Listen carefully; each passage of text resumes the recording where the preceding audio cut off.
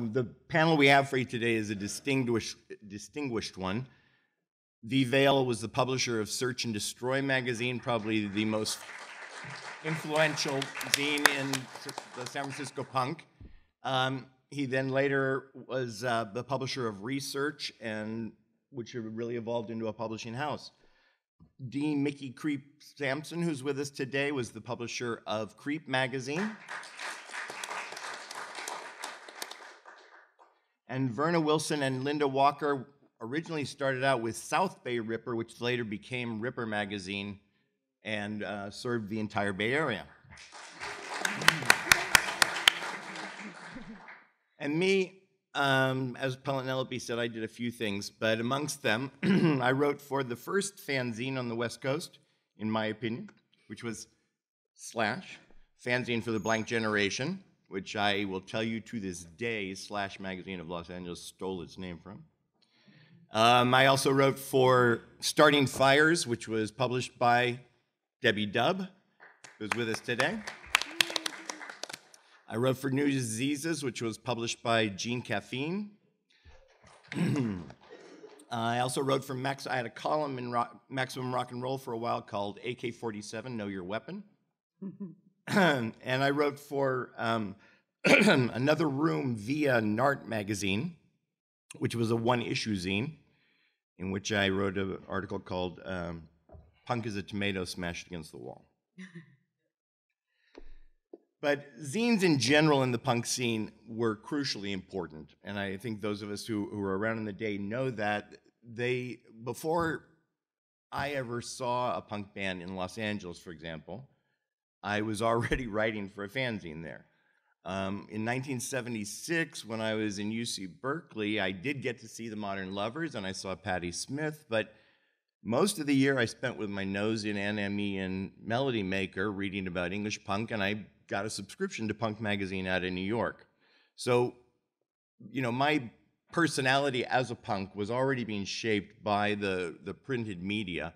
And I think, for, especially for those in the far flung parts of the, of the land where a burgeoning scene was not, um, you know, in their midst, um, the zine was crucially important. But in those developed centers, those few that we had back in the day, uh, the zines were also crucial in terms of providing not just reports about the bands, because really that's not what they were about. That's not what they evolved to be at all. Starting Fires had had uh, lessons on creating incendiaries right on its front cover. So we went well beyond, well beyond covering the bands, and there was there was philosophy, there was art, there was social critique, and amongst other things, there was always a list of other zines. Never saw a punk magazine that didn't have that feature. And New York, New York was heavily influenced um, and sort of given a sense of entity, sense of unity by Punk Magazine, and Legs McNeil, its publisher, was the key figure there. London equally influenced, I would think, by Sniffing Glue. And Sniffing Glue is, is my kind of a zine. It's, it's got bad hand lettering on the cover. It's Xerox. It wasn't one-sided, as I recall. Might have been, though. But um, Sniffing Glue was, was put out by Mark Perry, who went on to, to form Alternative Television, who did this song that I think, think only a punk band could have recorded, which is My Love Lies Limp. I don't think anyone else would have had the courage to do that song except a punk band. But anyway, uh, Sniffing Glue was, was a very vital, uh, vital importance to the development of the London scene. Likewise, in Los Angeles, we had Slash Magazine, which I mentioned as being the thieves of their name. That was put out by Steve Samiof and Kickboy Face, uh, Claude Bessy, um, who was a, quite a character and much missed. Up in Seattle, they had Snot Rag. It seems to me that the further northwest you go, the more uh, junior high school the, the sensibilities get. By the time you get into Vancouver, you got things like Joey Shithead. You know, it's it's just it's kind of a progressive thing that happens. But but again, very important. Portland also uh, you know coalesced around their zine. Down in Austin, Texas, they had Sluggo, very influential. Um, in Boston, I, and I preserve this one mostly not for its its tremendous influential power, but for its unique nature. They had um, miscarriage, which, as you can see, was a single sheet upon which virtually every space of white was used. And I thought, I think that this is one of the more fascinating punk scenes to come out of the era. Uh, Harlow in Essex had uh, 48 Thrills, sort of the, uh, the Sniffing Glue of, of Essex. Glasgow had Ripped and Torn, and Ripped and Torn, by the way, published a top 10 list, which is the only time the, the Dils made the top 10. Out of Glasgow, they loved I Hate the Rich, and I can well appreciate those sentiments. And here in San Francisco, where we are oh so literate and cultural, we had quite a collection. Uh, in addition to Search and Destroy, uh, we had New Diseases. I mentioned that Gene Caffeine brought out. We had Maximum Rock and Roll, which still publishes to this day. Punk Globe, also still publishing to this day by Ginger Coyote. Um, Brad Lapin brought out Damage Magazine. Mickey con- contributed Creep. The Wilson sisters gave us Ripper. And John Gulak or Gulak of the Mutants uh, was responsible for another room with, with some other folks. Um, they, they were an amazing influence, I think, on our culture, especially if, when we look back to Search and Destroy. Um, I think about their, their delving into situationalism and into surrealism and Dada, and, and they got us thinking. They got the gray cells working. Um, and punk was always more than the bands. We all know that if we were from back in the day. Um, there was a tremendous diversity. Uh, uh, it was an absolute cultural explosion that touched so many places. It touched on film, it touched on photography, graphic arts, uh, music, um, politics, social organization. It was really a total package, a cultural revolution that occurred in our society. And the zines documented and they also cross pollinated and, and helped to create a dialogue that fueled all of this process. So I could talk forever, because I just can, but um, I'm going to move to our distinguished panel now. Uh, after one quick additional um, endorsement, if you will, for Penelope and Michael's call for you to contribute. I would like to just emphasize what Michael and Penelope have already said. If you have stuff, this would be a wonderful repository for it. We can't lose these things. What we did back in the day was too important to be lost. It, you know, it may meet with the derision of historians, it may be dismissed by many, and it's so often misreported by young music critics these days. But it was a crucially important social development that can't be allowed to be lost. So if you have things taking up space, stored in your basement or in your attic, this is the place where they, they belong. They'll be protected here and they'll be preserved, and people will know what we accomplished. So, without further ado, I want to turn to V. Vale and ask you to tell us a little bit about your life prior to publishing the zine, and then tell us also what your primary motivation was when you decided to launch Search and Destroy.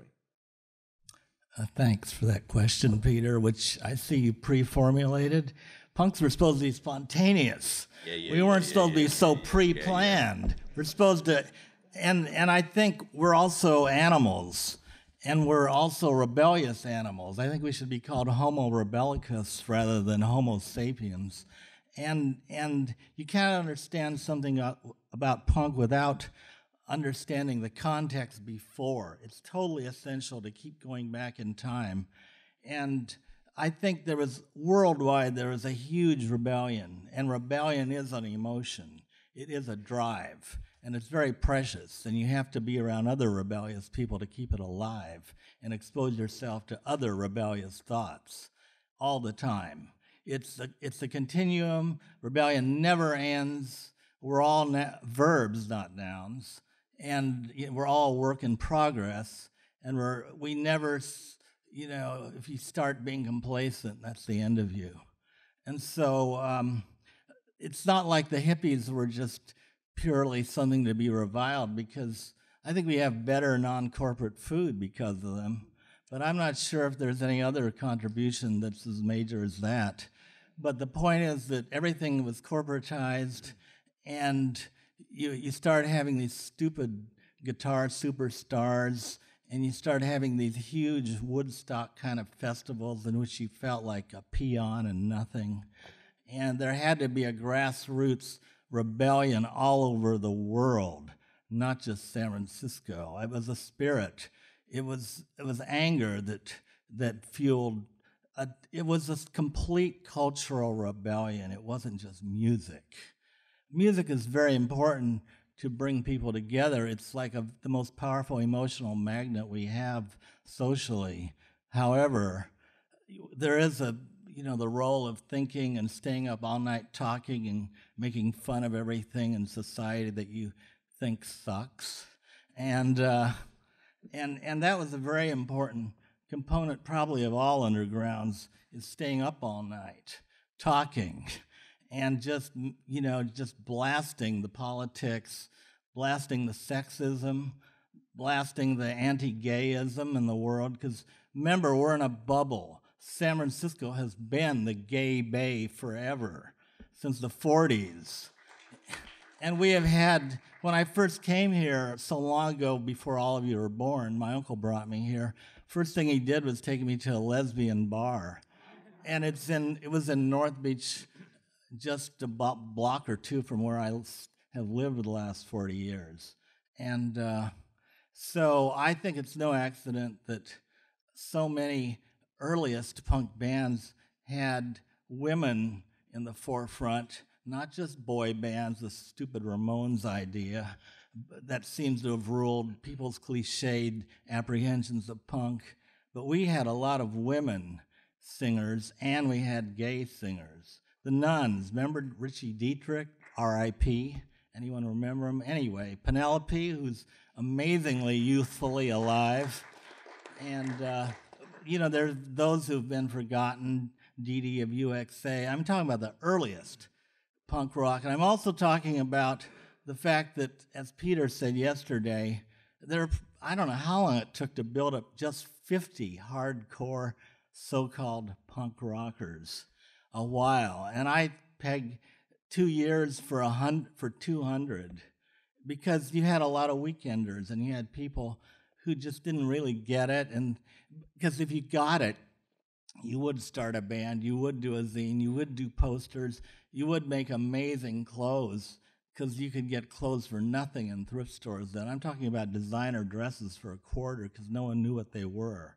And you could rip and tear them and slogan them and safety pin them. And anyway, it was a lot of fun. And the one thing that I wish I had done was have one of my friend photographers take pictures of the entire audience every night. Because, like Peter here, somebody said, it wasn't just the stars. The whole movement was super important. It was like a big extended family. And there are a lot of creative people who they just, I don't know. They sadly they're not even recorded in our zines. A lot of them. Very sad. I mean, people that are under recorded for me in terms of mental stimulation was like Michael Kowalski. I mean, he was kind of a genius who looked a little reminded me of Marlon Brando or somebody, but but he always was provoking you. He, you know, he was like he already knew so much. He knew when punk started, he knew a lot about reggae, for example, and uh, other people knew about you know German synth music, and it was punk was way, way, way more complex than than all these corporate media books tell you. So don't. That's why to bring this around. That's why you had to look at zines, and they were hard to get. You had to send away for them. That took energy that took curiosity, that took drive. And you had to start writing these people, you know, good old fashioned letters, postage. And, if, and no one had any money to travel, and that's kind of sad. Or I would have been in New York in 75.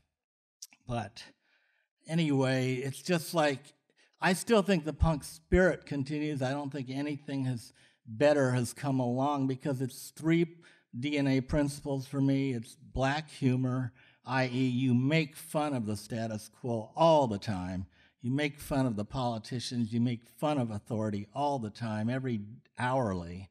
You also uh, try and, but you try and do it in a humorous way because you got to have fun. I mean, it's really important to to deploy humor as your primary weapon. And then I put DIY, and anyone can do it, which is not quite the same as DIY. I put that second, not first. Everyone else puts DIY first, but fuck, pardon me, that led to Silicon Valley startup culture so, or anti culture. There's no culture in Silicon Valley culture. It's just pure greed and money making and, and a weird kind of worship of this zeros and ones, digital language, coding, and all that stuff that I think isn't even human, but I'm prejudiced. anyway, I still think it's very important to, to get together in person like this group and not just stay online all the time, glued to your iPhone. So you, you noticed how Vale avoided talking about Blue Cheer uh, the entire time. oh, you what? But, but, he did hit. He actually hit on uh, the point that I really hoped you would, which was your three elements of of uh, what defines punk. So I'm going to let you off the hook for that, but, but I am going to hit Mickey up for it. Um, Mickey, you want to tackle what were you doing before publishing Creep, and and why did you decide to do Creep? Uh, I was a young adult child of psychoanalysts, so yeah. Ooh. So like, I read a lot and um, was high verbal and was bored stiff and drank a lot, and then um, yeah, I was lost. I was 21 in 77, 20 most of that year, and um, punk rock change saved my life. And like a lot of people, I mean, I, I grew up and I'm hearing uh, what I'm going to loosely call rock and roll, and I mean that term broadly. And I liked some stuff and didn't like others. And I liked, you know, I grew up in East Bay, and it was a rebellious time, and um, I was sort of naturally rebellious, and I liked and felt. I, I thought then I mean, I remember reading articles questioning is Mick Jagger a revolutionary or not? Mm-hmm. And, you know, this is in the 60s. Street Fighting Man had come out. That sounds really silly now. But um, in fact, it, if I were older, it might have seemed silly then, but I, I wasn't and it didn't. It seemed like it meant a lot.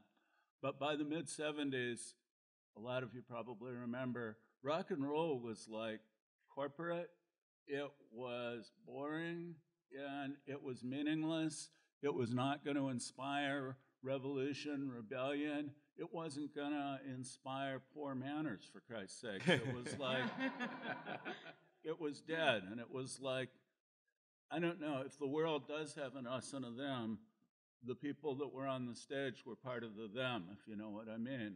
And they were like tiny little gods on a distant stage. And um, whatever that was, it wasn't something I was a part of. And then punk rock happened. And um, I started going to the city a lot from the East Bay and uh, going to Mabuhay and other clubs, seeing the bands and the audience, and gradually transitioned from my people being um, high school friends, drinking buddies, to my friends being people I knew from the shows were also drinking and drug buddies. Um, and there was a feeling that everyone there did something, you know? I mean, you'd see the band and they'd be on the stage, but they wouldn't like, I don't know, go fly off in a helicopter after their set or something. They'd be there and watch the other bands. And a lot of people that were in the audience either we're in other bands or we're contributing in some way to another fanzine or something like that. And I was looking for what to do. And um, being in a band never struck me as within my skill set until a few years ago. Um, and Search and Destroy had stopped publishing, and so Creep seemed rather obvious. Um, Creep wasn't just me, it was me and maybe 50 people, of whom on any given issue, 30 of them were active. And, um, but somehow I'm the one who like, got all the credit and um, because you're people, Mickey Creep. That's yeah, why. yeah, that's why. that's right. No, you funded it. Well, I helped fund it, um, but it wouldn't have been possible without the others. And I want to say part of what was cool about it was like we could do it, and there were no computers. Now, it's, now it'd be easy. But then, you know, we did all that on an IBM Selectric, rented, and then we stopped paying the rent on it and just kept it.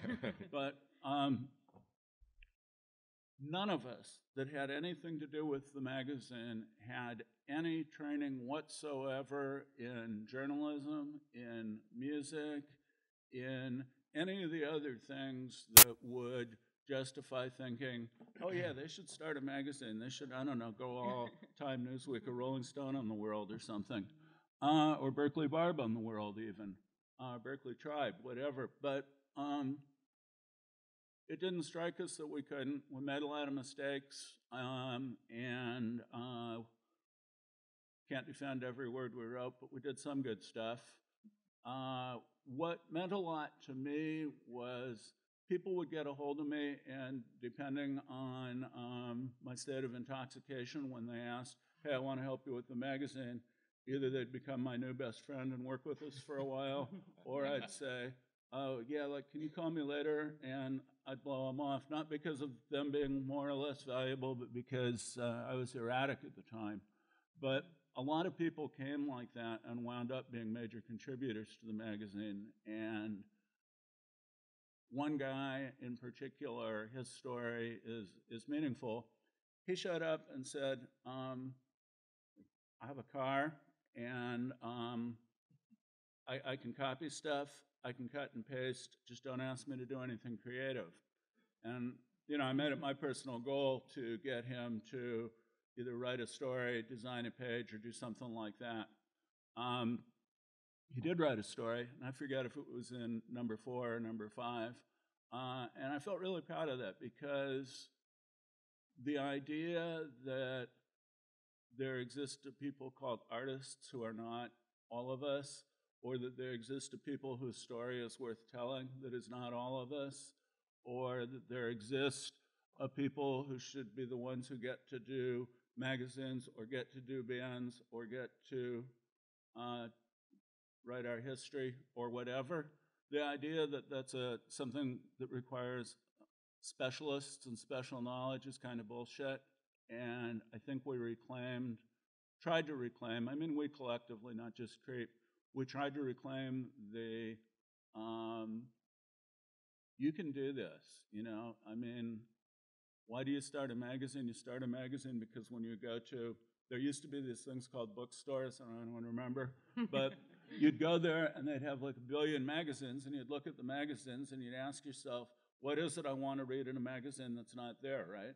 And then you'd write that which wasn't there.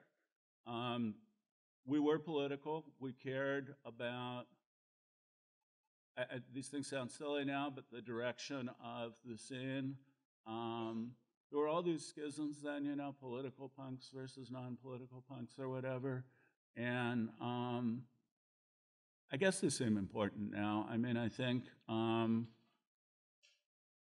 I was always on the side of those who wanted to blow shit up instead of those who wanted to have hit singles.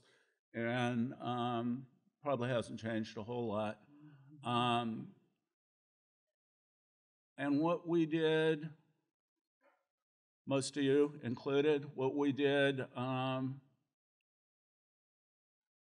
I love Mike, but it is bizarre that we are a, an object of historical discussion, right? Mm-hmm. We did these little temporary zines that we thought would be, I don't know, entertaining, informative, and amusing, amusing to a few of our friends, and that might just maybe in some useful ways help some people make connections between Band A and Band B that they hadn't made, or Band A and the nature of class oppression in society that they hadn't made, or something like that. And we were ambitious. Um, but um, the idea that what we, I mean, on one hand, we thought big, right? We were going to change the world. The revolution was coming within a year or two, no doubt, and we were going to be on the front lines playing punk songs or something. For real. I believed that then. And, um, and I think my sense of timing was a, a, a tad off. But I do want to say, we existed then to fight the monster, the corporatization of life, not just rock and roll. Rock and roll by itself is like it's an entertaining diversion, it's amusing or whatever. But the corporatization of life, the um, you know uh, birth, school, work, death cycle that we're, we're kind of trapped in. Um, we were fighting against that monster then, and uh, sadly, the monster's grown stronger, and um, they also had anger, and I think that's it, but revenge too. I mean, um, I, I, I think revenge against a world where the Vietnam War ends, Nixon gets impeached, and the same people are still in charge of every aspect of our life. And they are now too, and they're better at it, and they're more subtle, and we get these exciting diversions like the Super Bowl or the Republican debates, which I view as no, I, I, view them as similar in a way. They're distractions, you know, and um, I'm pretty sure that uh, come November of 2016, um, Goldman Sachs is going to do okay. And yeah, I'll, I'll, probably vote for Bernie too, although I don't believe that change comes from the top down. But, but um, no, he doesn't. But um, why then is he running for the top job instead of organizing from the bottom up? But uh, but we do digress. We, yeah, we do digress just a wee. Anyway, the monster's still there. It's still big. The anger's still there uh, for me, and I hope for most of you. And uh, if I can leave you with anything, you can fight the monster. You can do a zine, start a band. You can change the world. We can build a better world, and if we can, we have an obligation to do it. Thanks.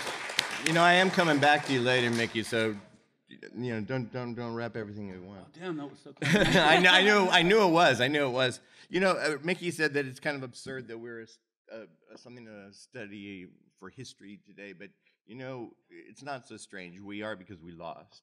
Whenever you lose, then you then your archives are interesting to go through.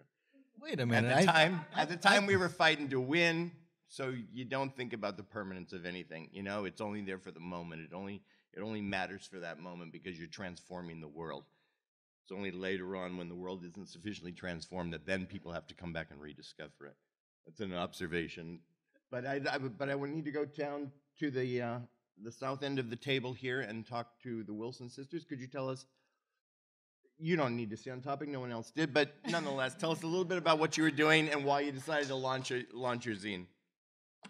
Well, I'm going to start. Um, I don't know how I can top these two guys here, really, seriously. Um, I'm going to start with me because um, I'm the one who got my sister into punk rock.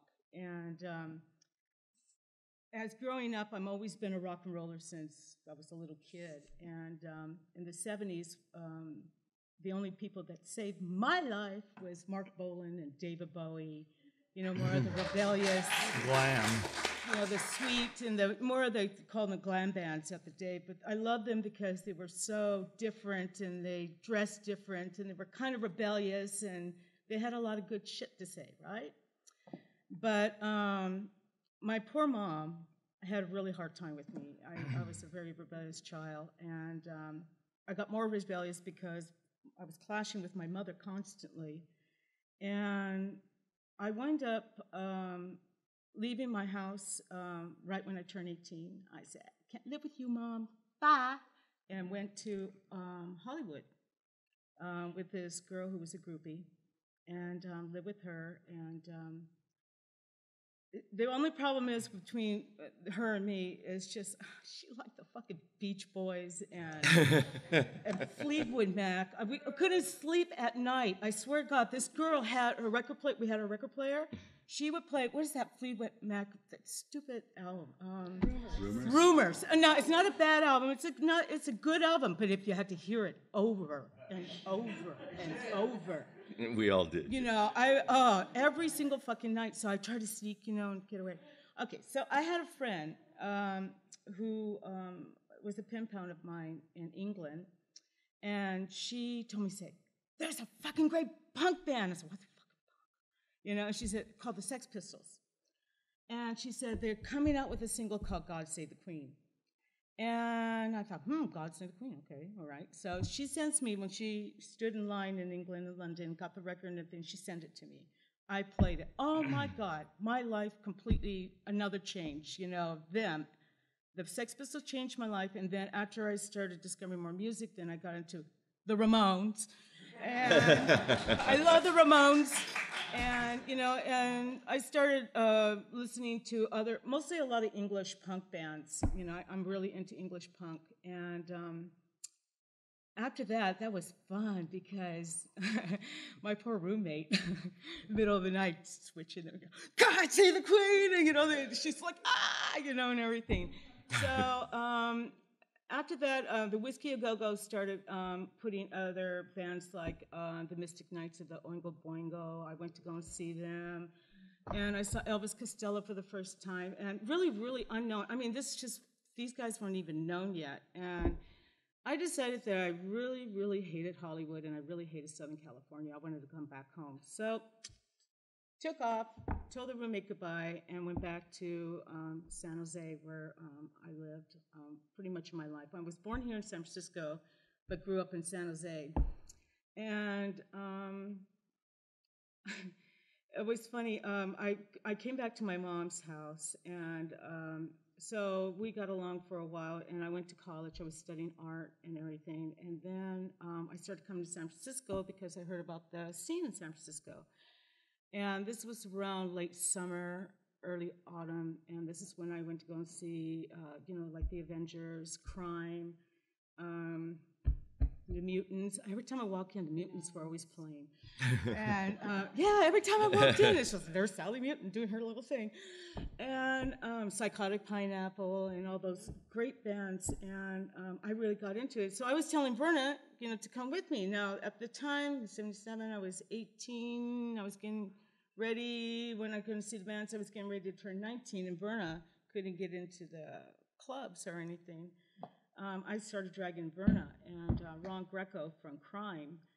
Um, I got to be really friendly with him, and he used to sit by the doorway all the time. And I started talking to him. So when I used to take Verna, oh, so somehow, some way, we got in um, to the club, you know, without checking IDs, and um, and go and see great bands. And then um, after a while, uh, we started hanging out in coffee shops around San Jose, around Campbell area.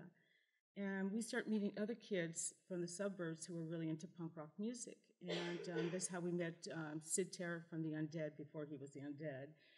And uh, Raymond, you know Raymond. And, um, and we all used to get together. And Tim Tonooka, he is one of our co founders. I wish he was here with us, mm-hmm. but he's not here with us. And uh, we all sat around the cafe and, and talk about punk music and what we learned and everything and talking about the Reagan era and how we are all going to die and get nuked and mm-hmm. you know how everything sucked and society sucked and everything you know we just had this really it was great just to be around these people that had so much in common with me you know and um, so we decided so we kind of one day we were just sitting around and I turned to Tim and Vernon and I was like, you know, why don't we start a magazine? You know, I mean, there's a lot of good bands that are starting to come out here in the suburbs. Maybe we can try to get the community together and have some of the San Francisco bands, you know, to come over here and play. And Tim said, yeah, you know, this sounds like a pretty good idea, you know, and everything. So we decided to pick out a venue, and we picked out the Rose and Thistle. It was a pub place where we can have beer and chips and stuff. By then, I was getting ready to turn 21. Was I 21 yet? 20. 20? Okay, I was drinking beer. you know, I got away with it. Anyhow, um, so we had every Thursday night we all got together. We somehow we got the word out to a lot of other kids who were into we put bulletin boards, you know, about the magazine, you know, that we're deciding to do a magazine.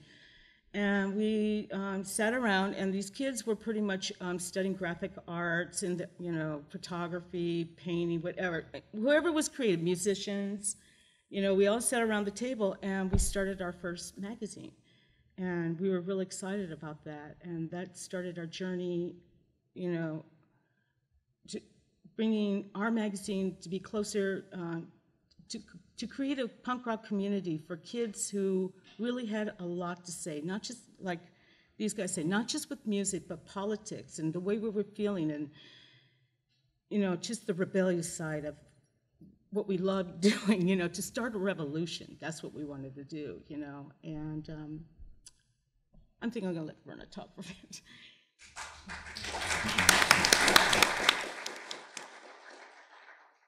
One of the things that made us different than a lot of the bands, a lot of the uh, magazines that were um, coming out at the time was that we were stuck in the suburbs and we were stuck in a community where punk rock wasn't being very supported.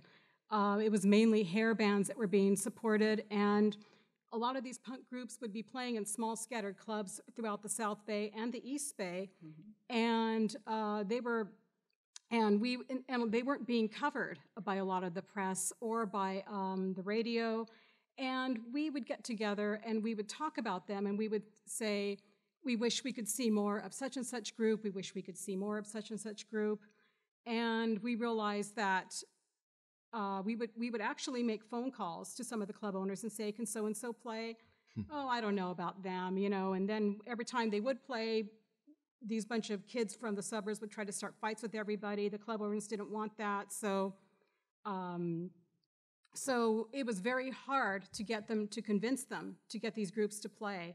So we were very disillusioned, all of us, and um, out of being disillusioned, we decided to start our own scene, and that's when the ideal of a magazine came about we said, well, why don't we write articles ourselves? Why don't we take pictures ourselves? And Tim had a little bit of experience uh, working for Crawdaddy. So Tim um, said, well, why don't I just bring kind of what I, some of my experience and show you girls and show you what, you know, what we can do, and uh, we'll just sort of lead it from there. So that's so uh, we we Linda was into graphics. She was majoring in art. I was majoring in um, literature and I was also doing writing on the side. So I thought, well, this gives me a chance to really get a chance to capture some of these groups and not just San Francisco. San Francisco had a lot of wonderful groups out and we were going to see them, but some of the groups in the South Bay and the East Bay that really weren't getting a lot of attention.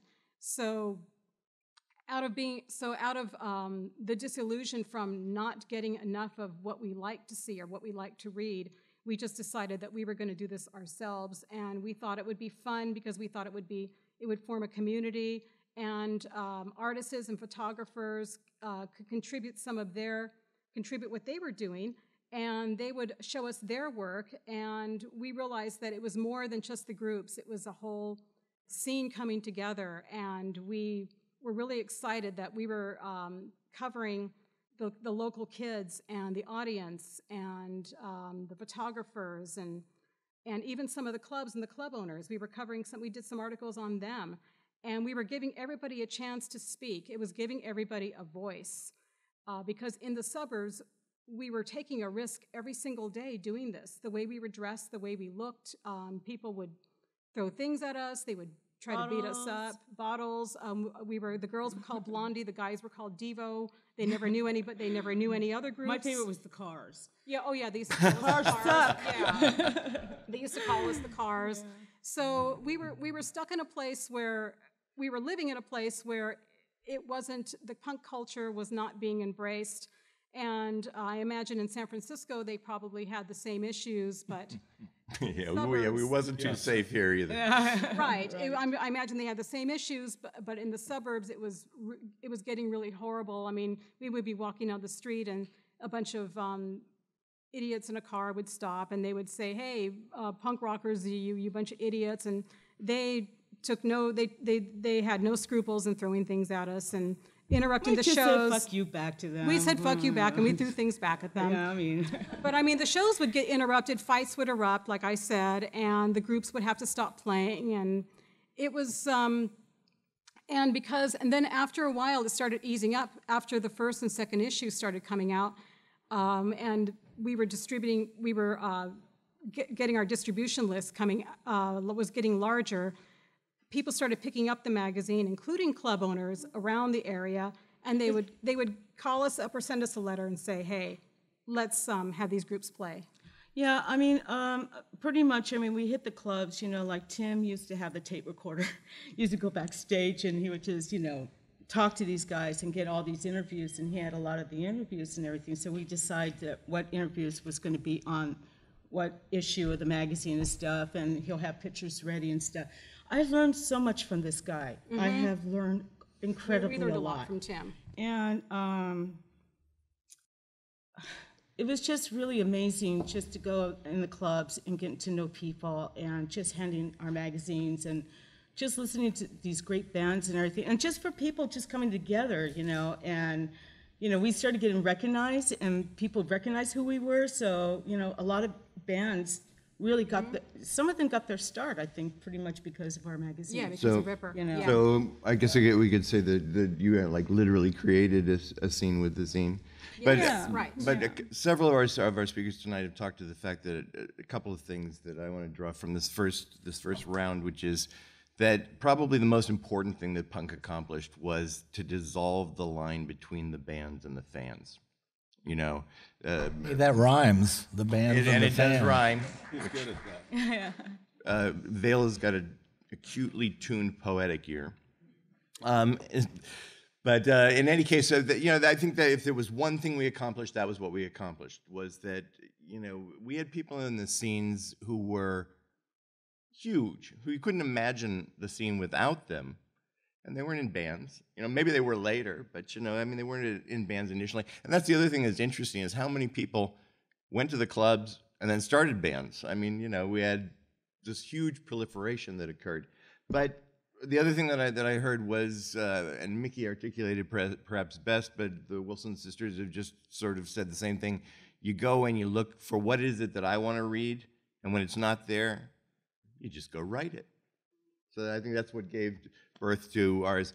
I'm going to move on to a second question, which is uh, which is preordained, and you can just part from it as much as you like, as you have so far. Uh, what impact do you believe that um, your periodical had on the development and orientation of the local punk scene? And did your editorial policy consciously attempt to shape the perspective of the local punk community? And Vale, you want to tackle that first?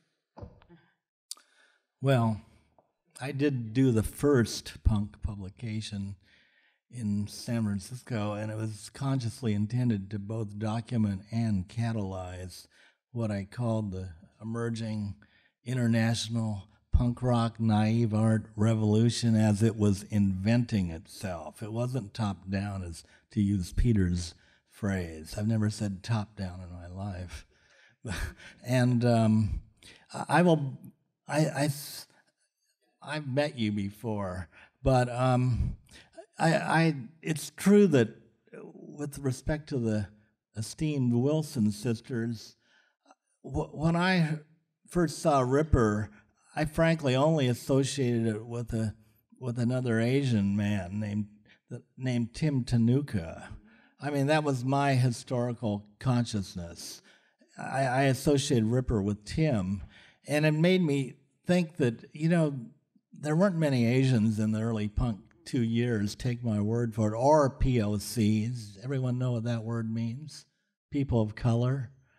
And, um, and yet, um, well, you know, the few that were there kind of did stuff. Linda Nakamura was, you know, she started impatient. She was, at, well, I didn't know about them. I only knew about Impatient Youth. Who was Maniacs? A band? That, no, no, it was a promotional group. I thought it was called Impatient Youth. Isn't that weird? we all have our niche history views. No, Maniacs is what they're called. Oh, New Youth, you're thinking of. New Youth, thank you. Oh, yeah, not Impatient Youth, thank you. I know it's our lives are instant history, believe it or not, and uh, it, but but it's like being in quicksand sometimes, trying to arrange things in order of progression and um, that's why in in in search and destroy, I guess I had an advantage because I was kind of super literate compared to a lot of other people working at City Lights bookstore, and and it felt I felt that we had a duty to to connect punk to all the subversive movements in history prior to punk.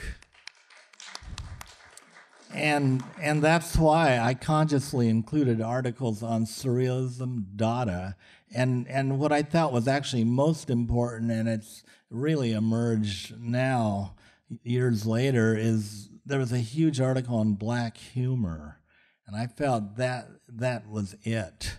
Because it it sort of that concept transcends any little groups you can nicheify and name like you know Lydia Lunch is so proud of No Wave. We weren't punk. We were No Wave.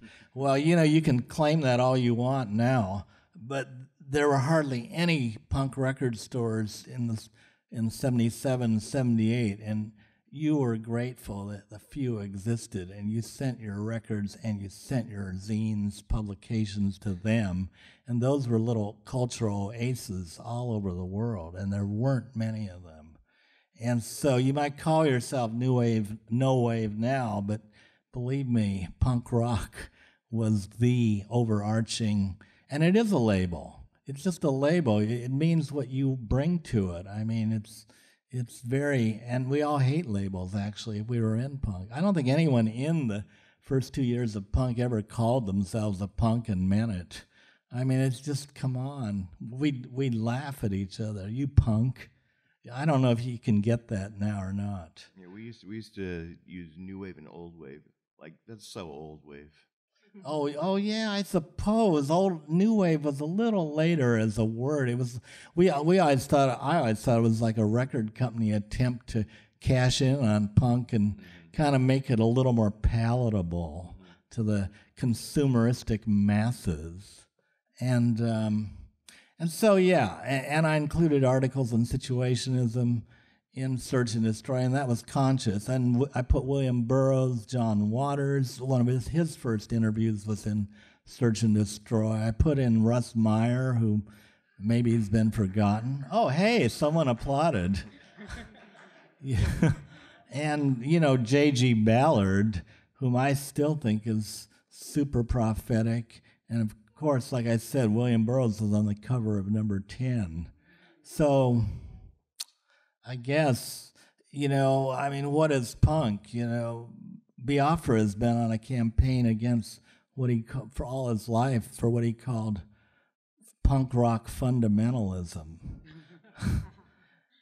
and and I think um, I, I'm sorry to hear about the violence that the Wilson sisters had to experience because I felt that was a the violence virus, did I just coin a phrase, was brought to and created in Orange County by just one or two bands like um, the Circle Jerks, what an odious name. They brought it up here and they ripped off local bands. They, those kids were young, violent, and really they're already mentally ill, I think. Mm. And uh, so Let's see. Yeah, yeah, we wanted permanent rebellion, uh, and I and I think we we want permanent dissatisfaction with the status quo, and and we want, but it's got to have black humor. Come on, guys. We don't want to be some horrible political ultra left Trotskyite group. They're no fun.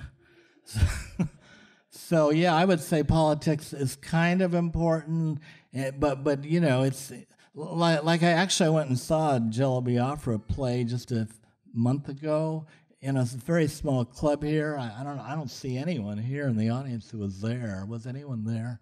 But but the point is that uh, it was so much fun hearing him not only play classic DK songs and his new band songs, but more importantly, he just went on a rant like "fuck Uber," and he went and and and and you know dump on Trump or take a dump on Trump or something, and that's what punk rock was really about.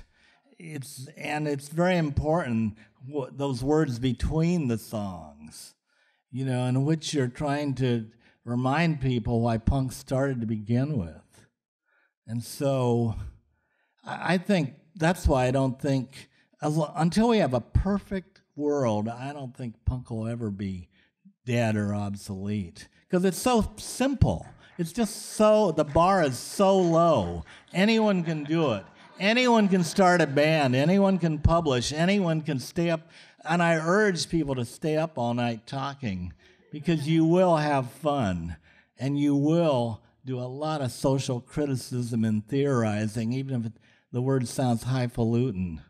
It's important for people to talk and work out their ideas and have fun and invent more critiques and jokes about what controls us, as Burroughs called the control process. That will never end. And so, take away from this today that Vale has told you black humor matters. black lives, yes. And black lives as well. Um, Mickey, what about you? Did Creep try and shape the views of the community? How did you view that? We probably did try and do that, and we probably had more of a heavy hand than would have been appropriate if we were new now back then. Um, but and and we probably could have been. Um, I, I think we probably could have packed more humor into what we did than we did at Creep. We were kind of uh, sometimes we were kind of deadly serious, both in our interactions with each other as we did stuff and um, in our attitude. And um, I mean, you know, we saw all these threats to what we saw as this um, perfect community or whatever. Um, we saw these threats, the ones we perceived were um, people from the suburbs of Orange County who came and beat us up, people from the Sunset who came and beat us up, um, people within the community who wanted to um, stay away from serious topics and move towards um, commercial production.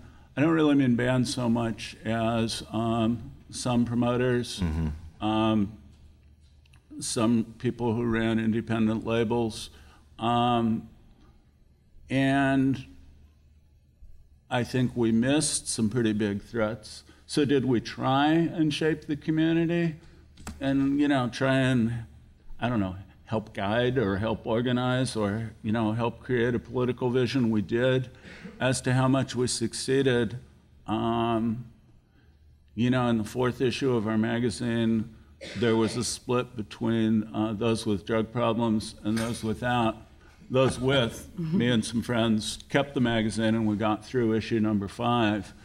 I think we missed a great big threat from within that we probably should have been saying something about, and that, um, you know, that was part of being uh, young, naive. It was um, part of being addicted, I suppose.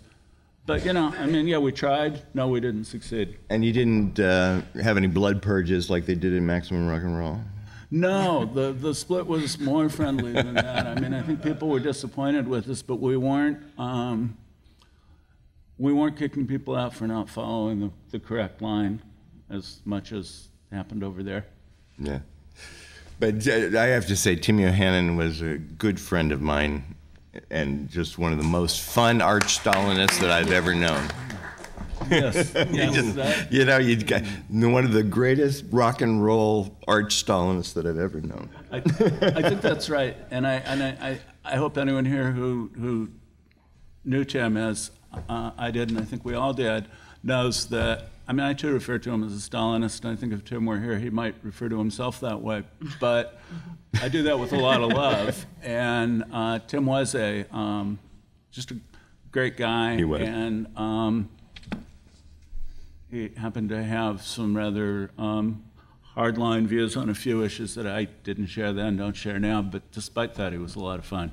I met Tim when, before before he started Maximum Rock and Roll. I met him at KPFA when I went there to be on a show, and his his inter- cultural obsession then was rockabilly music, and rockabilly, which he played on his show. I don't know if anyone knows that, but um, and he, uh, where am I going with this? He quick, he pretty, he saw the light, and I think after my show, and and um, and then he he got on board with Maximum Rock and Roll, which I don't think started till 1979. I, I, for me, timelines are very, very important because every day you might have one more person in San Francisco getting into punk rock in a super serious way if you were lucky. And the, the more time progressed, the easier it got. I'm not putting later comers down, but it just became easier and easier. But the downside is you, you at a certain point, you stopped knowing everyone's name. Mm-hmm. You would literally know the name of everybody in the room in the early days, and that was something that was wonderful. That's very true. Uh, so moving on again, now your your situation was very different coming out of the suburbs and at a later, somewhat later point. How did you see this issue? Did were you trying to um, have an impact on the perspectives of the of the local community? How did you view that that issue? I felt that we were trying to let the local community know that we really weren't going away. Um, the first issue, a lot of people told me that the, that first issue that we did was nothing but a big ego trip. Ooh. But we were focusing on the kids and the audience and the artists, um, besides the groups, photographers, um, people with their opinions, people having a voice. Um, and that's and that made an impact on the community because people saw it and then they started sending us records they started yeah. um, getting a hold of us sending us letters and tons saying of tons of letters and saying tons of records hey we want to be a part of this and then um, they would say hey i run a club and or hey i have a group and um, you know come see us and come review our records and um, then then the rippers started actually expanding that um, impact on the community. And we, were, we felt we were breaking down a lot of cultural barriers that that community was stuck with.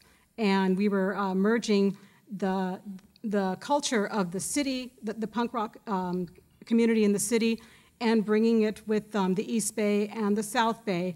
And it focused on everybody um, photographers, um, yeah, all the, kids, all the various countries. Everybody, yeah. Mm-hmm. And we felt that um, it was it was growing and it was giving everything a voice.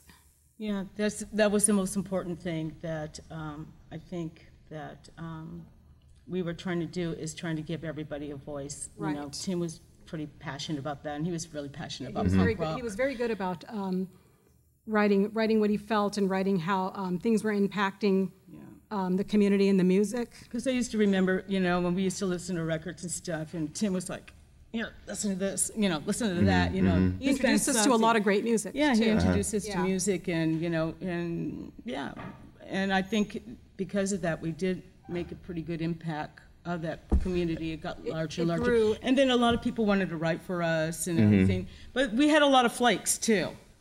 Well, well in punk rock, Everybody, Flakes? everybody has disagreements if you Oh, come no, we had some characters that Oh, just God, did we ever. unbelievable. Yeah. You know, But- but. if we, if we started telling stories like that, we could be here till I midnight. know. That's true. You you know, this reminds me, I think one of the uh, very overlooked and most important factors in the rise of any underground, I don't care if it's 100 years ago or 100 years from now, it's, it's the people who start more or less clubhouses, places where bands can play, places where you can gather that are free. And, I don't honestly know if there was the. We had the Mabuhay Gardens, a Filipino place here, for two years. We were lucky before it kind of got wrecked by the people from Orange County, and um, and um, but but but I wonder if um, San Jose had the equivalent of an only punk club. The only punk club there was at the time that started out and is still around, uh, I think it was One Step, One Step Beyond was one of them. was the first club. And um, and a lot of the uh, like a lot of the smaller bands they would play like in little halls and little places down in downtown San Jose like Black Flag. like Yeah. a one-off or something? played in Um, San I Jose. can't remember I think the it was place. a church where they played. I think so. Yeah, it was a something church like that. I don't yeah. know. It it was a- such a long time ago. Yeah. Um, but I mean, there was like uh, Hotel St. Clair. Hotel, did- Hotel St. Clair. Did know, did uh, did Ripper get involved in, in concert promotion at all down there, or was that done separate? I think it was done separate. I don't I know. think it was done separately. Yeah. I think it was done. Yeah, we were just there for the scenes. Uh-huh. and Just there to cover the groups and Right. Cover the groups talk and to. s- stuff. Yeah. Yeah, we didn't do that. We didn't really do bookings or anything, but we did have benefits, and we, we put together some benefits for the zines, and that gave it a chance to because have we a lot needed of- money. We needed money, of course, and we that gave a chance for some groups to show what they were doing. We played. Um, I think at the Rusty Nail. The Rusty Nail was the first benefit. The Mabuhay was the second, and then I think there was- there was a third um, benefit at the Mabuhay. Now you you are, changed your orientation to the from the South Bay to the broader bay, to the broader. Bay. And that was uh, at what point during uh, Ripper's development? Yeah, we kind of dropped the South Bay, you know, part and just put a Ripper because. And you when know, was- but when like was it that? more for you know for just the Bay Area now. you know. yeah, At, at what point though? at the third issue, Third issue. Oh, third issue, so early on. early Yeah. on. Yeah, Yeah, it was just like yeah. expanded pretty Bay. fast actually. The A lot, ha- a lot, a lot happened in those days. a lot happened during that A lot time. Okay, let's let's uh, take a step back from our specific periodicals and look at the broader issue of zines in the community.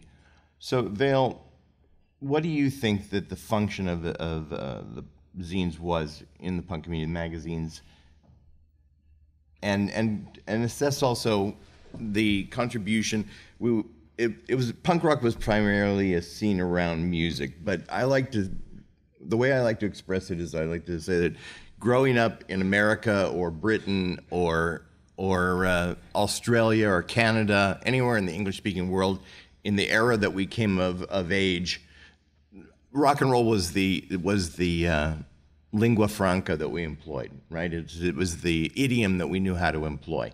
So if we were going to say anything to the larger world, we were going to say it through rock music because that's what we spoke. Um, so I think in in punk being associated with music in that sense, it was because it was our idiom.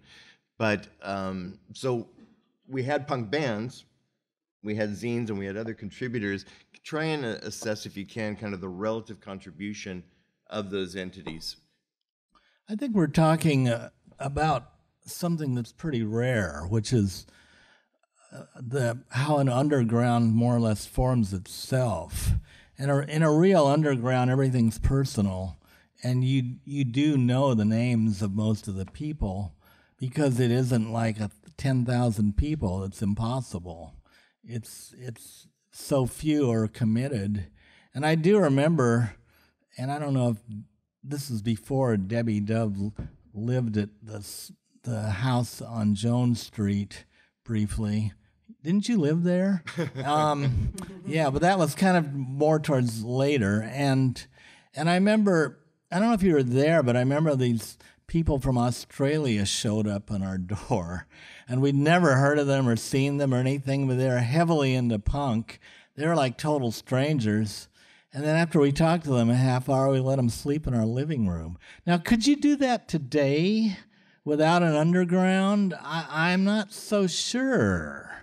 Um, and also, there was a lot more letter writing from for my part of punk, and and that's how I got so many contributors all over the world, and they weren't paid, by the way. This is outside of capitalism, or it's anti-capitalist, perhaps, or there wasn't much consciousness. I don't think it was so political. It's just like it was a cause. Punk was a cause and you wanted to participate and elucidate, hey, that rhymes, and uh, promulgate, hey, that that's three words in a row that rhyme. What was it? Elucidate. What did I just say? I don't even remember. Hesitate and elucidate. Yeah, no, hesitate is way later. Bifurcate. You, bifurcate. You don't do that till you're in the decadent stage of your so-called revolution building. No, copulate. Oh, please. No, that's that's the hippies. As moderator, I need to rein us in. But anyway, um, I I also always wanted to be international and not just you know provincial. And I don't think that's such a bad idea, except that I do like that phrase someone came up with a long time ago about think think global and act local, and I do agree with that. And um, so you can't have a community again without places to meet and preferably talk. Mm-hmm. And I think the people who gave us venues are way underrated. I really wish I had done heavy duty interviews with like Paul Rat. And I don't even know who did the Tattoo Lagoon. You were there, Peter. Or no, were you? But I don't even know who did it, which is a crime. And I didn't even think of interviewing Ness and Dirk at the Mabuhay or Robert Hanrahan when he did the Deaf Club, but anyone who gets up off their you know what and does a venue, that is way important, super important. And uh, do you think the zine serves as kind of a, a virtual um, assembly point in the when we don't have that? Well, well, I think everyone has to build their own little community and through a zine and you will attract contributors and friends. You you will everyone, and if you do a band, you will also start your own little niche community around you. But but the sad thing for me is that I can't seem to get a handle on like a huge overarching underground today that and the reason I say this is because I've had a string of rebellious 20 something interns for the last 25 or 30 years and the sad thing to me is that I first thing I ask them, "Who are your favorite bands?" And I and I go check them out, and it's never is there an overlap with the previous interns list of favorite five bands, and I don't think that's a good sign. I, I can't tell you why I don't think it's a good sign, but that's what my gut tells me. So there is some huge information overload, huge nichification, huge fragmentation, huge uh, I don't differentiation, which I don't know how you can build a truly unified mass cultural rebellious movement that's international now. I'm just worried about that happening, and I think the big to me the big enemy is the distract the the huge distraction addiction machine, which is your iPhone. I mean, it's an amazing event. It's addicting. It sends you little jolts of pleasure to your nervous system when you see cat pictures and rabbit pictures or whatever, raccoons. And it's addicting, but it's also distracting. Mm-hmm. And it's just a massive distraction culture we're in now, and I'm just not sure what to do about it. Of course, you know, detox, but good luck with that. So I think it's something that I'm just not sure. You know, it's a present challenge. I I I, I think uh, we all are aware that this is now this is by design. I mean, all of the we have, Apple, yeah. Much of it is in response to us. I think. I mean, I think mm-hmm. the they we took they were taken aback culturally by what we accomplished, and they got more skillful in the process. But good point. Mickey, what do you think about about this thing? Uh, uh, the whole idea of the building community, the role of the zine in the community, the relative contribution of the bands and the and the written word. Gosh, I think that's so subjective. I mean, I think for me there are some for, for me and for anyone in this room, I think there are some bands that meant and still mean the world to us. Mm-hmm. And there are perhaps some books that meant or still mean the world to us. And um, hopefully, a lot of people that meant and still mean the world to us. And um, I, I don't think there should be like a either or dichotomy there. I mean, I think that spoken word, written word, painting, which I can't draw a straight line or cut one, but but painting, I mean, I think at some level, simultaneously, everything's important and nothing's important. If that, I don't know if that answers that, but that's sort of what I think. That, what do you mean fair. nothing's important? We think punk's well, important. Or so what? Right. Exactly. So it sounds really That's deep. Nothing's important. Sounds really deep. Okay. Uh, to the to our two female participants. What do you think on this, these issues? What is, what is the larger role of the zine? I just think, um, you know, what we presented in the magazine, just, you know, like we are talking about interviews and whatever, whatever that person is picking up that magazine and reading whatever we wrote about bands, or if we wrote a little political verb or a record review, or something, somehow um, I feel that that person is impacted by that. And, um, and questioning yourself or whatever, if you don't, if you don't think that deeply or whatever, uh, what can I do for myself? What do I want to do in my life Mm-hmm. and everything? Um, I feel like the zine has done a lot, you know, for a lot of the bands and people who were clubbing and everything, because coming back now that we have this whole year, you know how it- it's been, Peter. Mm-hmm. It's been really strange to come back to seeing old people that I have haven't seen in years and everything. But um, I asked them what they're doing with their lives now, and you know, a lot of them that I've met are doing community service. Um, like Mickey, he's Yeah, sheriff's like a, a sheriff's work program. You know, I mean, but it's everything's impacted what you do. You know, I mean, that's what I feel that you know, whoever.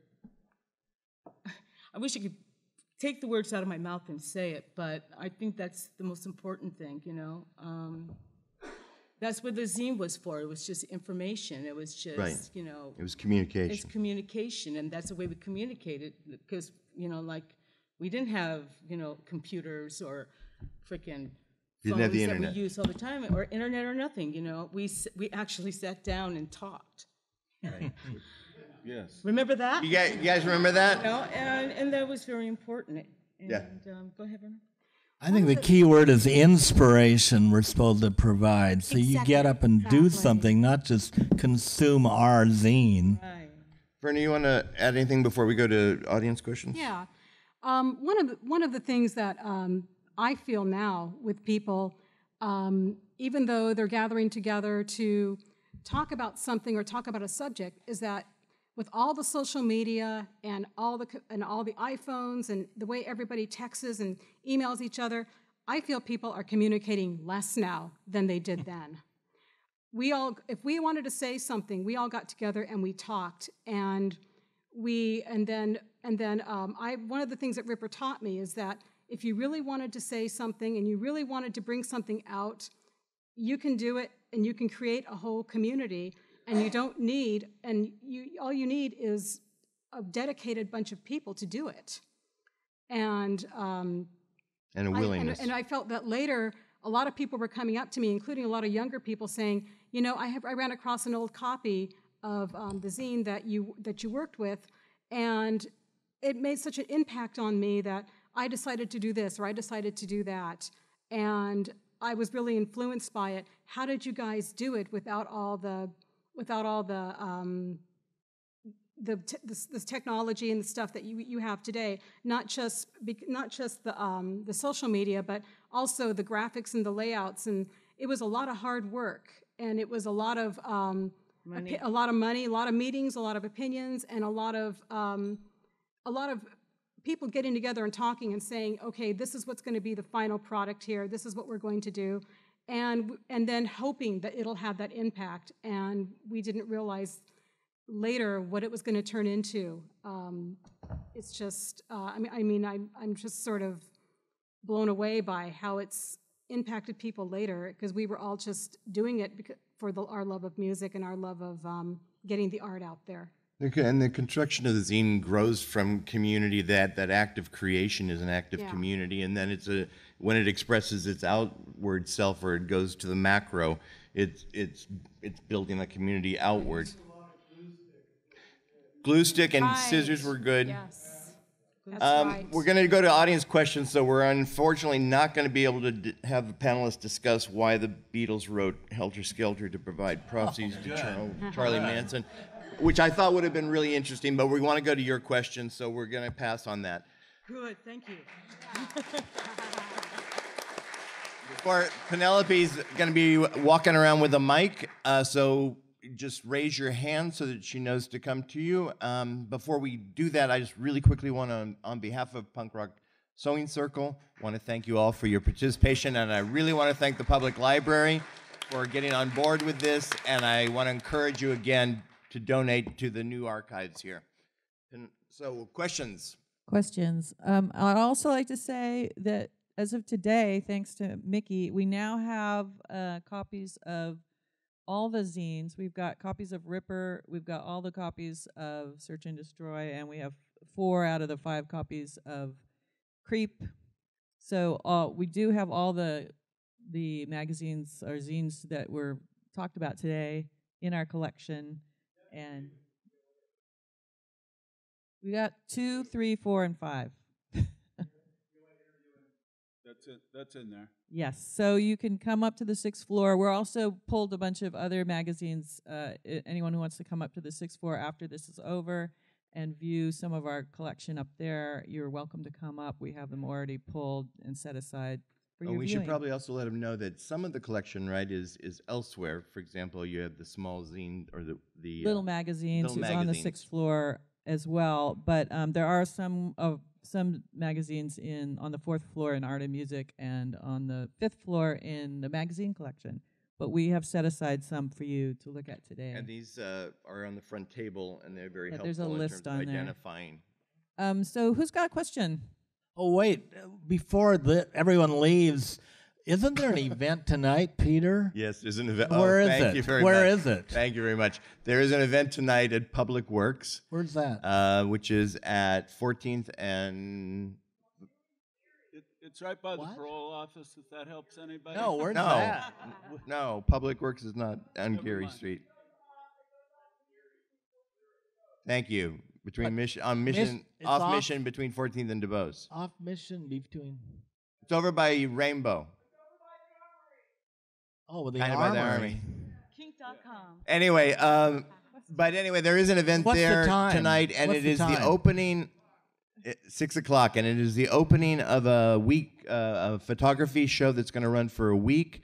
There's also going to be several hours of um, punk film, and then there's going to be cert, um, Jimmy Danger playing. They're great. Uh, uh, Tru- Stooges, oh yeah, yeah, tribute. No, I can't call them a cover band, huh? Tribute band, uh, Stooges tribute band, and then there's DJing after that with uh, Brian Brian James. Brian James, who's who's all the way from Boise, Idaho, to DJ for us. Hey, he so was at the all Damned, sorts of stuff wasn't he? going on, but uh, it starts at six o'clock tonight, goes to midnight. Okay, now questions.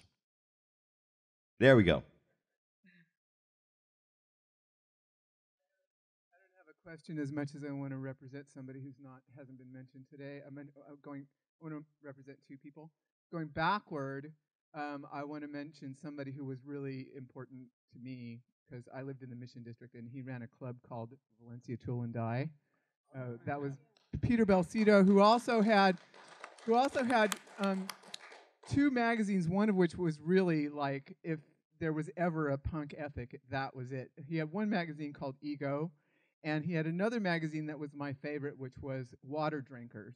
I don't know if anybody remembers Water Drinkers.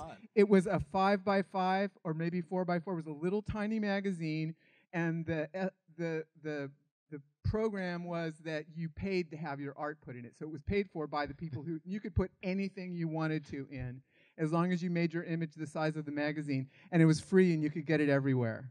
So Peter is represented here. And then the other thing I want to say to all the people who are history buffs is please, please, please get in touch with Chris Carlsson and Shaping San Francisco. Chris has been working on the history of San Francisco. He started a virtual history 20 years ago in 1995. It's it morphed from a CD-ROM to a website, and now it's a wiki site. Go to Found San Francisco, Found SF, and he is starting to uh, you know make whispers about trying to make a, a punk presence on found san francisco it's a wonderful website and please get in touch with chris Thank you. Uh, question for our for our panelists. Hi, Mickey. I seems to me after Punk, you or after Creep, you had another magazine you were starting up, and that was more specifically political, as I recall. Oh my. Okay. In that case, Substance abuse is a terrible thing. uh, I'm going to ask a question to Vale then. Um, back in the days of Search and Destroy, when all of the people were writing for free for your magazine, this was a good thing. It was done out of passion, it was done out of a sense of belonging. And these days, though, we see the same sort of a thing with Huffington Post, which is then a bad thing. I'd like to hear you talk about what you think about that and how that's changed. Thank you. Oh, sure. The Huffington Post, they tried to get me to join their brainwashed herd of minions. uh, I, because I, I did write an editorial. I can't remember what it was So do you think it's about. a good thing or a bad thing? and well, I think it sucks. Uh, but but of course, in, in a word, in three word phrase, I think internet kills. What's the third word? I forgot. it's not just thought, but it it kind of kills. Not exactly creativity, but I guarantee you, there's a ton of us who don't have the economy we had back in, say, 1992. In other words, people like me could publish books and make pay my rent. And I knew a ton of bands that could put out records and sell them and pay their rent. And it's re- it's just now we're at the 1% versus the 99% now.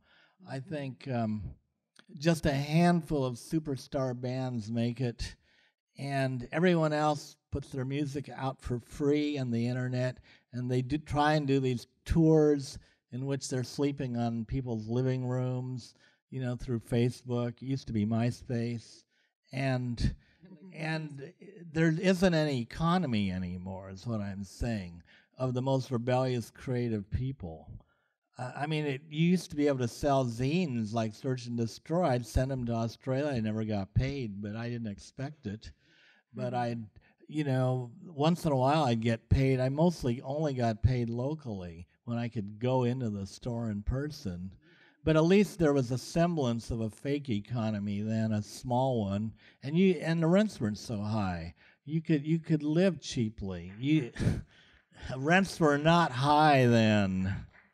Uh, I always appall people when I tell them that the only reason I could do search and destroy, you know, working part time at City Lights on a very tiny income, was my rent I paid every month was thirty seven fifty a month. yeah, that may rent it makes a huge difference in in line with the Karl Marx thing about how economics determines life. If you have to spend all your time working to pay two thousand five hundred a month for a room, which someone, this girl I met, that's what she pays, twenty five hundred a month for a room, a room in a three room flat, and uh, that's two thousand five hundred a month. Mm-hmm. And uh, anyway, what can I say? there's an awful lot to be dissatisfied about today. There ought to be a new punk movement. Well, if I if I can on that question, one one of the things, one of the big distinctions is, as you said, there was passion, there was there was commitment. The reason why people wrote for Search and Destroy for free was, um, you know, Search and Destroy was existing as a as a vehicle for their voices to emerge, whereas Huffington Post is a going business concern. So um, you're just unpaid labor there, and that's the I think the chief distinction. Other questions in the back? Uh-huh. Just to keep Penelope active.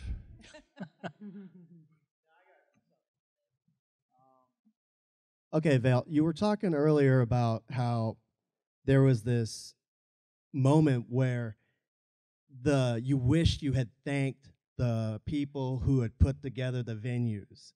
You wish you had taken the time to get to talk to about the to talk to the people who had put the venues together.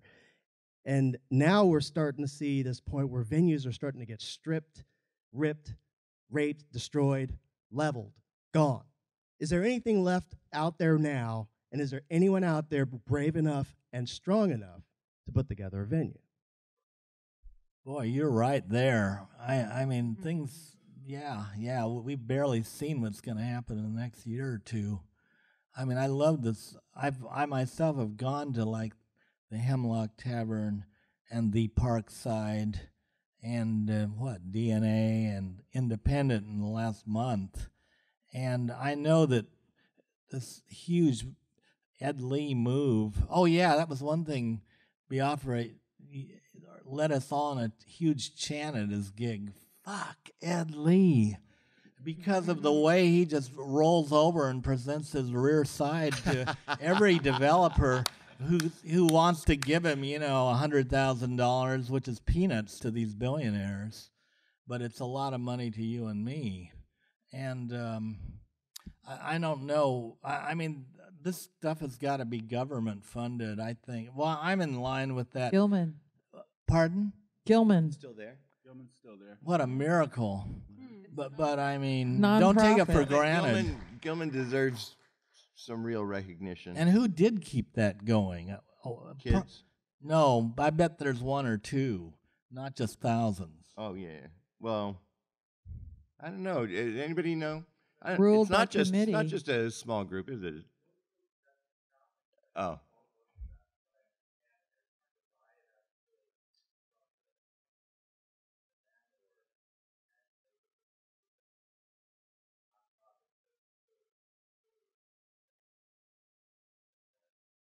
I mean that's a, that's uh, if the spirit is punk is, is lived on in the Bay Area. It's got to be with the Gilman crowd.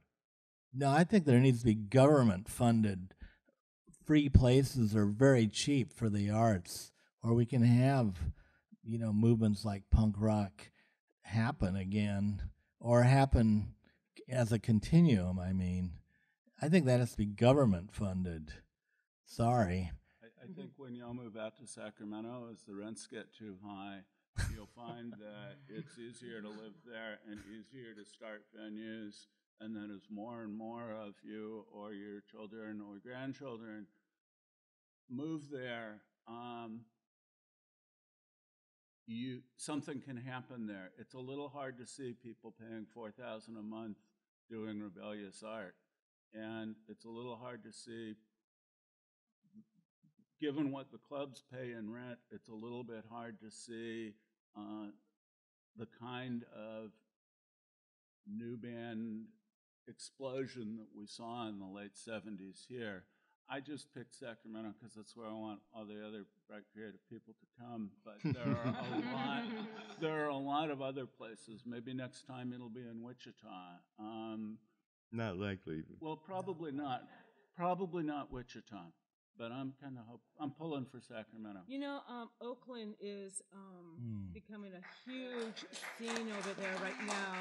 That's because we all left over there and went to Oakland, didn't we? Um, you know, I'm I'm still kind of connected with some punks over there. You know, some young kids and everything. I, I meet at warehouse parties and everything, and you know, and some of these kids do take warehouses now, and they're like, you know, build their community there right now, like especially in Fruitvale, there's like a huge explosion right now of kids, you know, with warehouses and they do their own clubs and their own, you know, a lot of things that the cops will go, you know, and, um, but yeah, I, I totally, it, I don't think. I don't know. I think Away. I think we're in a rat race personally uh, with realtors and developments and that whole real estate inflation game. And I like your beloved Oakland. I read is the ninth most expensive city to live in Now it in is. Am- in America. People remember the the VAT, right? Yeah. mhm. Ah, Well, you know, I know this great church at 10th and Howard. yeah, it's been empty. It's been empty for a decade Decades. or more. Mhm. And if Paul any- Rat. If you had bolt cutters, just a thought. Occupied. Just a thought. It's too. It's too. exp- We all know it's too expensive to rent in this city. So I think that if there's going to be a future for this sort of thing, it's probably going to have to take place on on uh, on the down low. Another question for our panelists. I just want to follow up on the last point. I was the, the Reno promoter uh, 35 years ago, and uh, we had a venue, and I gave a call to a guy named uh, Peter Urban to bring up uh, a band called the Zeros. And after that, we only did one more one more show in the next uh, two and a half years. We did one more show in a regular venue. After that, it was all house parties, and halls, and it's people's bedrooms, just the venues, Backyards. backyards. And the backyards. zeros almost died on that gig, by the way. they had to play three sets. We, we They had to got play all the three way. We sets. got all the. We were returning to the city, and we got all the way to just before the peak on the in the mountain pass, and the car's electrical system died, and we had two people in the back of this Ryder truck with no insulation, and it was it was well below zero. It was like up. Uh, anyway, it was an adventure, but it was a great adventure. Okay, do we have any more questions? Who's going upstairs? What? Everybody should go upstairs. But up to to the say any of us sixth don't want to leave the building. There is one more thing I, I would like to say. Um, we're um, because of the celebration of the 40th punk uh, rock history. Um, Peter Urban, Mickey, Verna, and I, and Elizabeth Murdoch did a zine, Ah, yeah, we did. souvenir zine, and we have packed full of uh, interviews and pictures and all kinds of great stuff that to celebrate. And we'll have it there tonight. Wonderful history Called that we Final did in Warning. Francisco, and it's the final warning. This is it.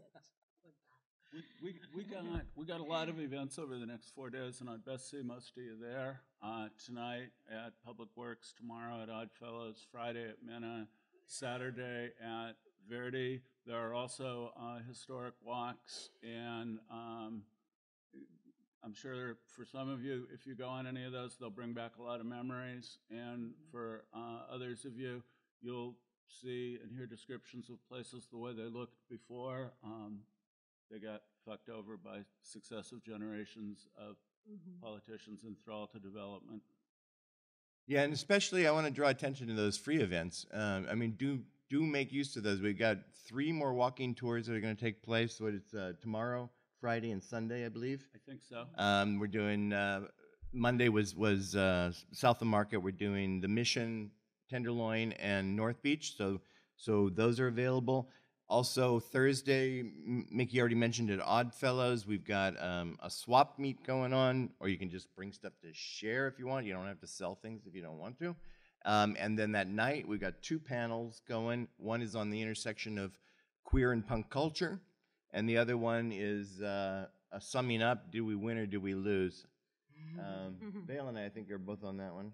Right. If you didn't get enough of Peter and Vale, they're going to both be part of that one. And could you ever really get enough? Right. Could never get enough of you, Peter. I'm sure. So, uh, with that though, I'd like to thank you all for coming today. It's been it's been a great experience, been a pleasure.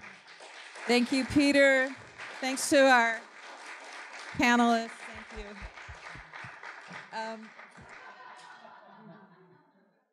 oh, there's uh, an event going to happen here in an hour or so, so they are going to ask us to clear the room.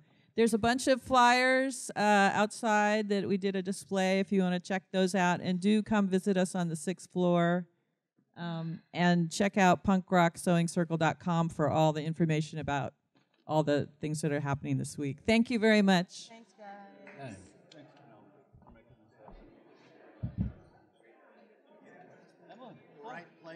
Right time. Around.